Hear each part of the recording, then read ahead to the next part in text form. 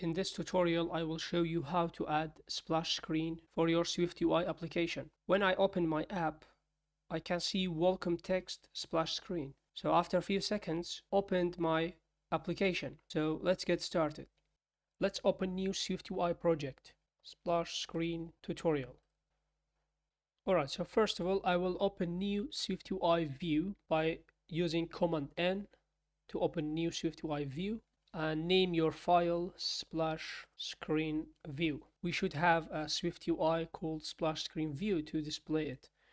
And here open new ZStack. Redesign your splash screen as you want. I will use color background black and ignoring safe area to display all black screen and I will add new text here called welcome and font size its title. Also, we should change the foreground color to white, like this. Okay, we see welcome text. Alright, so let's go back to content view. In content view, first of all, delete this vstack and add zstack here.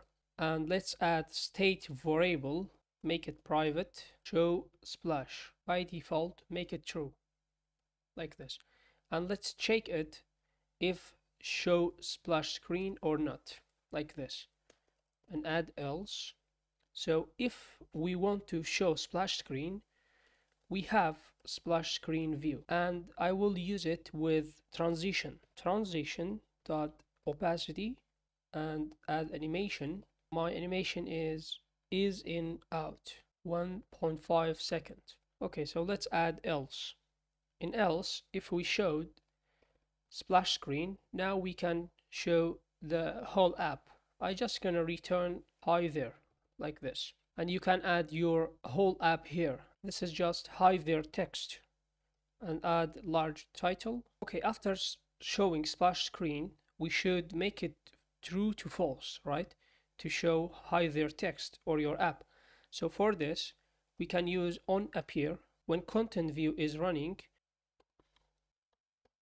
we will change true to false and I will use with animation. Yeah, uh, this is not dispatch time. Uh, we should use dispatch queue like this. Now we can add with animation write self dot show splash to false.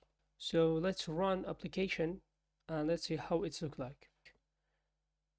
Okay, we can see welcome text. After a few minutes, we can see whole application.